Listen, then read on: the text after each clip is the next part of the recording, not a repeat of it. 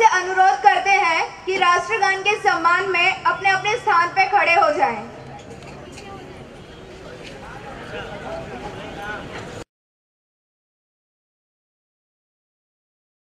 रंगे झंडे को लहराते हुए और उसके समीप खड़े बधिर व्यक्ति द्वारा राष्ट्रगीत को भारतीय सांकेतिक भाषा में संकेत करते हुए दर्शाता है